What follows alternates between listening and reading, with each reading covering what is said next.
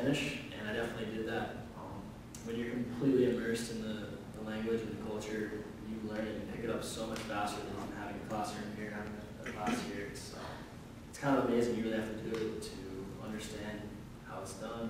Um, my other goals, like Carolina, was uh, to travel a lot and to um, to get that global perspective, and I definitely did that.